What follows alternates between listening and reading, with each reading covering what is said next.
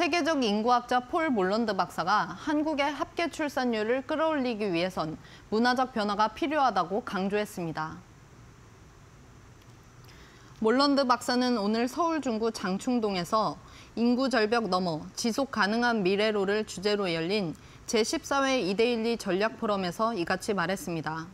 그는 높은 소득과 교육 수준을 보이면서도 출산율도 높은 이스라엘이 될지 출산율이 낮은 한국이 될지는 국가의 문화와 관련이 있다며 한국도 출산율을 높이고 싶다면 남성도 육아에 참여해 여성이 일하면서도 아이를 키울 수 있는 세상이 와야 한다고 강조했습니다.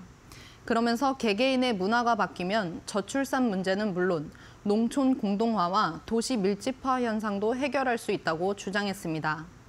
아울러 자녀가 없는 가정에서 더 많은 세금을 내는 이른바 무자녀세 도입과 같은 정책적 조언을 하기도 했습니다.